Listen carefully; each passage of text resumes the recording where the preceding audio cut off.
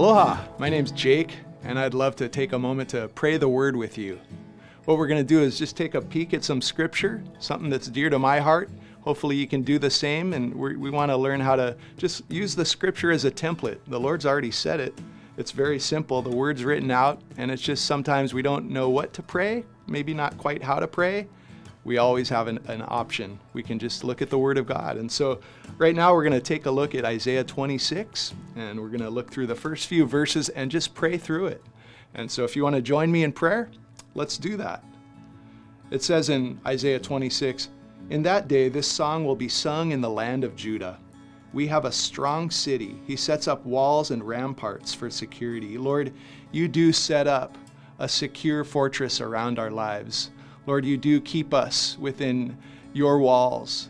Lord, you do look out for us um, as a guardian, Lord, as a uh, one who is a watchman on the wall of our lives.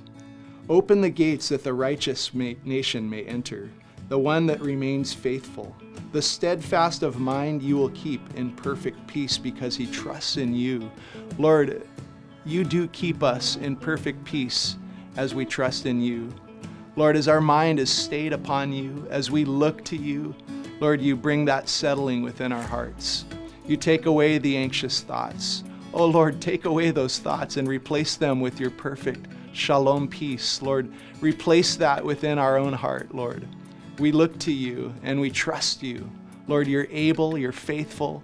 And so we believe that to be the case in our own lives this very day, Lord. For he is brought low those who dwell on high. The unassailable city, he lays it low. He lays it low to the ground, he casts it to the dust. The foot will trample it, the feet of the afflicted, the steps of the helpless. Lord, you will put down the mighty, the proud, the wicked. Lord, those who think they are great and, and stand above and oppress. Lord, you're the one that brings justice.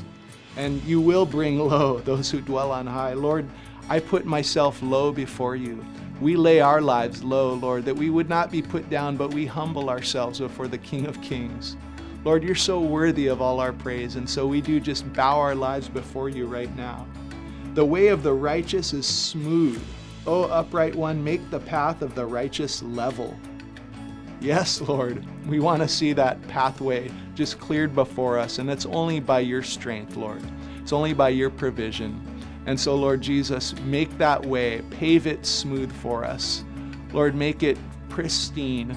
Lord, we ask that you would take away those obstacles, that you take away those things, those trappings, those things set forth by the enemy, Lord, that would, would uh, get a hold of our lives, Lord. May you clear the way for us, bulldoze everything that doesn't belong within our life and within our path.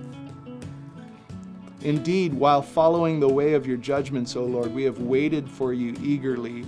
Your name, even your memory, is the desire of our souls. And Lord, that is so true.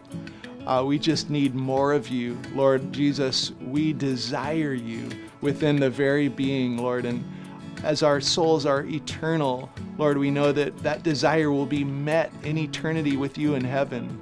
And so, Lord, just be the one that we, we, as we wait upon you eagerly, Lord, be the one that is here in our midst, Lord. Be present for us this very day. We long for you, Lord Jesus. And that's it. Amen.